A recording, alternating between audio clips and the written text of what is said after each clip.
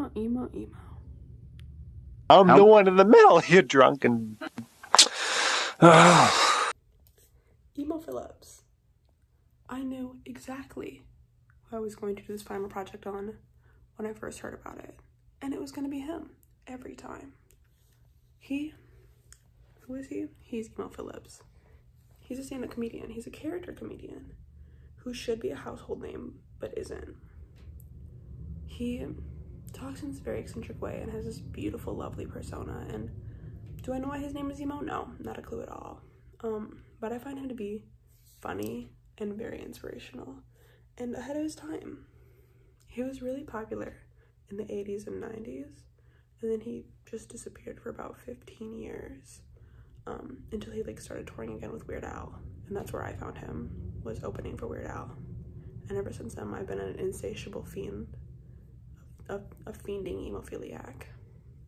And when I heard about this class having a final that was examine an artist from Chicago, And it was him because he was born, was in, Chicago. born in Chicago. When he was 10, his parents moved to Downers Grove, Illinois. And when he was 12, he found them. Or so he says in his song, Downtown Downers Grove, which is an ode to the town about how the people there really are nice and how it doesn't take big bucks to shop there and how he likes to shop in downtown Downers Grove. So I decided to take me and my roommate to Downers Grove to test out that theory and see if emo was telling the truth. So I present to you my emo Philips inspired adventure to Downers Grove, Illinois, featuring Katya, aka Clark. Downtown Downers Grove vlog with Clark. My film queen. You're, yes. We're going to downtown Downers Grove. We're gonna see if the people there really are nice and it really doesn't take big bucks. Big bucks. Um, we'll see when we get there. Oh my god. I went into the bakery. The Great Sandini Bakery and Coffee Shop. I think it's open. Okay, update. It was closed. On the next one. Okay. like there's Santa. He's in the gingerbread house. I like to shop First independent experience shopping in downtown Downers Grove. We went to Fair Game and the people there really were nice and it wasn't very big bucks. Like for like a good set of dice, it was Loki like $15, which isn't that bad. So like I'd recommend this place and the guy was nice. And he said if you roll another 20, you've got to buy it. But he was just kidding and he made that clear. So I'd give this place a 10 out of 10 on niceness. And like a 10 out of 10 on Magic the Gathering selection. So we just had someone let us cross the street, very nice. Wouldn't have happened in the South Loop, would not. Shouldn't, should that wouldn't fly there. Um, everything's been good. They do have like a Republican center, but like so does Grand Rapids. You can't, not everything, you know, we all have our flaws. Um, we've got a lot of lot of clothing stores, which is where we gotta go on the list. Oh, I'm sorry.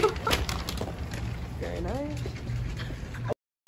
I went into the clothing store. They do have the Anthropologie candle. They're playing Lana. They're playing. Ooh, they've got the little Lana. Say hello, Clark. Clark, what are you getting? I'm getting a Pickleball Queen mug, and, um, and it doesn't take big bucks. It really 18? That's $18? not That's not big bucks. That's not big bucks. I would rate my experience an 8 out of 10 because they gave me a bow and they also mm -hmm. gave me a bow on the inside. Nice. And they wrapped it up all nice and pretty. Mm. They did think it was funny that I was buying a pickleball queen mug for a boy. Mm -hmm. um, but I still appreciated it. Yeah. And I thought it was good. I think she was kind of hard. Yes, kind of hard. Okay, thank you. It's gotta come down here to Downers Grove, 8 o'clock lift for $7. Oh, shit. We just found an underrated ass corner. We got Tribeca Cigar Company and like Cowboy Boots Birdhouse Place. I went into the bakery. Okay, so Emo wasn't lying when he says there's a lot of bakeries, but they are like, they close at like 2. They have like a 10 to 2 sort of vibe, but they all look good, so I'm gonna give them like a flat, like 7 out of 10. Budget records right here. Beautiful. They had a very vast $1 and $2 section in which I went a little crazy. Oh yeah. And then I found, wait, where is it? I found my favorite Christmas album. of all time. Oh yeah, Carpenter's Christmas portrait for only twelve dollars. I would say it did not cost big bucks. That's Mm, what it is. yeah? And the people, they're nice. You heard it here Yep. first, folks. Mm-hmm. Another win for Downers Grove. Hello. We're here at the cellar door. Um, you might be wondering why is the cellar door special? He doesn't say anything about that. You're wrong.